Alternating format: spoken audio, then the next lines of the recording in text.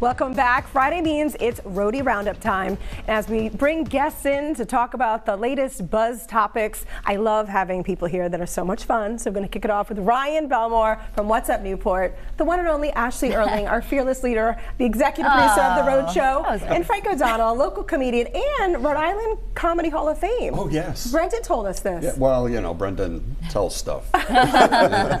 he wasn't lying though. No. no, not a liar. All right, so we're going to kick it off. So many of us have morning routines, and studies say that most of us grab our phones first. What do you do first thing in the morning? Because you're not supposed to grab your phone first. Frank, I'll kick it off with Coffee. you. Coffee. Coffee. I have to have coffee. so you I'm do sorry. that before you grab your phone, anything. Mostly, Yeah. Yeah. Unless something you know occurred to me overnight that I need to check my phone, but yeah, it's got to be coffee. So the coffee, that's your go-to. Yep. Ashley, I, I grab my phone first because it's my it's my alarm. So I hit snooze usually Yes. a couple of times, but when the first alarm goes off, I usually will turn on the TV and turn on the news. And I feel like that kind of helps me wake up and know what's going on. Yeah. And then I don't look at any social media or anything when Okay. I grab my phone. I do see if anyone texted or like, you know, if anyone called out or Yes. anything like that, any like little fires. as you're keeping your fingers out. crossed that I nobody did. But then I don't look at my social media until I actually get into work. Ryan, what about you? Because obviously your business, you need to know what's going on. Yeah, I do pick up my phone, but I think the only right answer here is turn on channel 12 and uh, catch up on the latest Thank you. news. Thank yes. you. Thank Uh, you. But yes, my phone. It's the alarm clock and uh, checking to see what happened overnight with news and uh, the hundreds of emails and phone calls and whatever else happened overnight. Now, So, do you yeah. weed through all those emails immediately, or do you let yourself at least get up, grab a cup of coffee, walk around? I go through them pretty. I go through them. Normally, mm. I have a bad habit of waking up in the middle of the night and going through them mm. Oh, as yeah. well. No, Yeah. no, don't do that. And then you, that's I, I've done that, and then I can't fall back asleep. That's Yeah. problem. Well, then it's do I get up at four or do I get up Yeah. at five? yeah, yeah, yeah. Right, it's true. You go back and forth. Yeah. So we talked about today. A Brown University student just won Jeopardy, hundred thousand dollars, and then we had a Survivor contestant on recently that was on the show. So my question is, if you could be on a reality show, Ashley, I'm going to kick it off with you first.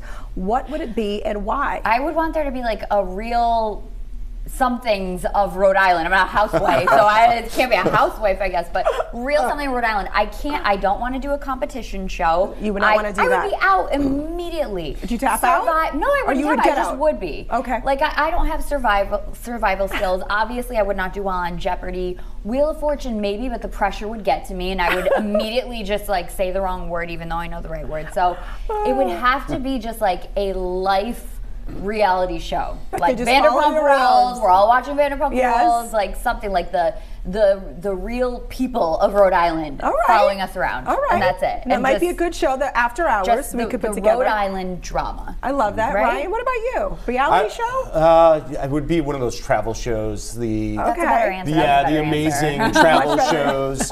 One of those, or um, one of my uh, secrets is watching the uh, TV shows where they rehab houses. And, Oh, yeah. Yeah, Those maybe are- one of those as well. So So if you could travel anywhere, if you went on a travel show and they said to you, like, where would you want to go?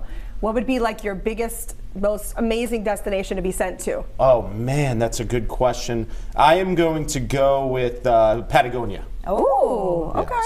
Yes. That's great. Now, Frank, what about you? I feel like you'd be great on a Pat- reality show. Patagonia exists. Yeah. I thought it was just clothes. Well, I'm gonna I'm I'm gonna play off of Ashley a little bit. I want to be on Survivor Rhode Island. Ooh. If you can get through a whole day without coffee, milk, Del's, or a hot wiener, you're all set.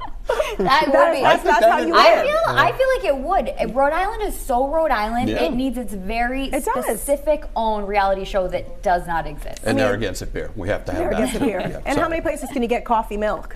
Like in Pittsburgh, they looked at me and can't- that was crazy when I asked They go for what? it. What? Yeah. You want milk in your oh. coffee? Okay. Yeah. All right, so the last question, and Ryan, I'm going to kick it off with you. Now, Jamie Lee Curtis just missed an Oscar nominee dinner because it was too late. So, question is, are you an early riser or a night owl? Because she said it's just way too late. I get up in the morning and I get going.